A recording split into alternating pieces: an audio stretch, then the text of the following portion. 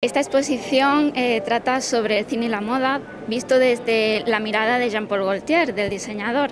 Eh, nos ayuda y nos trae también una forma de ver el cine y de ver la moda mm, que nos eh, invita a verlo desde su punto de vista, desde una subjetividad que él tiene.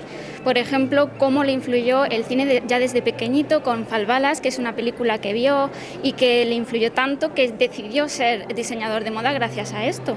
A partir de ahí, pues eh, se puede ver cómo eh, ha influido tanto el cine en la moda como la moda en el cine, porque eh, se pueden ver muchísimos desfiles de moda dentro de lo que viene siendo el cine. Entonces, Jean-Paul Gaultier nos trae junto con los comisarios de la exposición, que son Flores Tissot y Mathieu Orlans, y la Cinematique francesa, con Caixa Forum, pues nos han traído esta, esta exposición que también trata temas muy sociales, como puede ser la ruptura de, ese rol de género de la mujer, ¿no? de la transgresión que tiene el diseño de la moda y también el cine en los años 70 o como en los años 60 con la corte de la falda, ¿no? con la creación de la minifalda, pues eh, cambia el mundo prácticamente y cambia la visión de las mujeres hacia la moda.